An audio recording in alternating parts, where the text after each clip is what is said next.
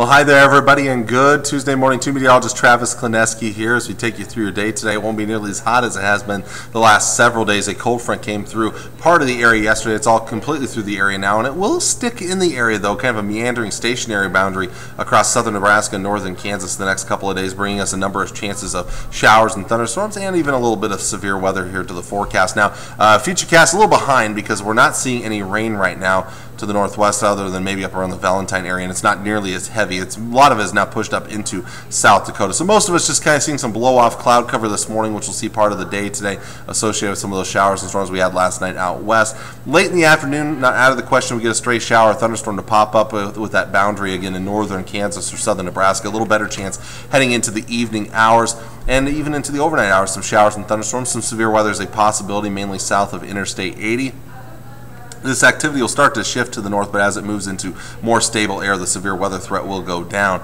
As we head into your day on Wednesday, still an off on on chance of rain and thunderstorms early focusing on northern Nebraska, then later in the day, once again, southern Nebraska, northern uh, Kansas, the best chance of some strong to severe thunderstorms out there into the overnight hours. By the time we get towards Thursday morning, the severe weather threat is lower. That frontal boundary will eventually start to shift southeastward, and that will start to take the better chances of rain with it, although we'll keep a chance going during the uh, I'd say through at least the first half of the day of Thursday, maybe even through about supper time Thursday evening, but then Thursday night wrapping up those rain chances. And some pretty decent rains could be on the way. Now, this is one forecast model of what are many, and they're kind of all over the place, but this one just kind of gives you a general trend of what could happen here as we see those better rain chances in the southern parts of the viewing area.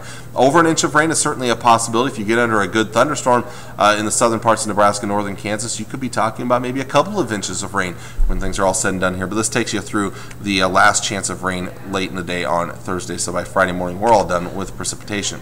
As for your risks of severe weather, and this is from the Storm Prediction Center, your main chances near and south of Interstate 84 today.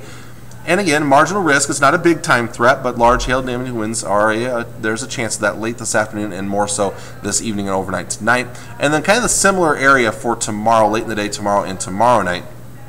Large hail looks to be the primary threat. As for your highs later on today, cooler than yesterday. We're looking at 60s to the northwest, 70s to the southeast. So that early rain's kind of wrapping up now, partly to mostly cloudy skies across the north. I'm going to call it mostly cloudy out west. We'll see some breaks in the clouds, and there will be a chance of some late day showers and thunderstorms. 66 in Ogallala, at 77 in Beaver City. So you can notice the trend of warmer conditions the farther southeast.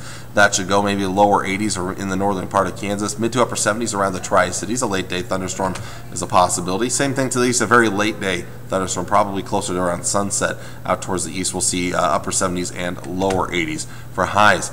Some cooler 60s in the next couple of days with more rain chances around here, a little breezy as well. Friday and Saturday looking dry at this point here. Late, late Saturday night after midnight, a small chance of rain and thunderstorms. A little better chance coming in Sunday night with a little more instability as well. So maybe an isolated strong to severe thunderstorm a possibility. Monday looking dry for now, but Monday evening and Monday night rain and thunderstorm chances return. And this one also bears watching. Maybe some severe weather once again a possibility by Monday night. More active weather kind of moving into the area towards early into middle portions of next week. So again, there are some good rain chances in the forecast. Not going to be nearly as hot, but at the same time, not too chilly out there. So some pretty decent temperatures on the way over the next seven days. So there is your forecast for today. Until next time, I'm meteorologist Travis Klanecky. Hope you have a great Tuesday and God bless.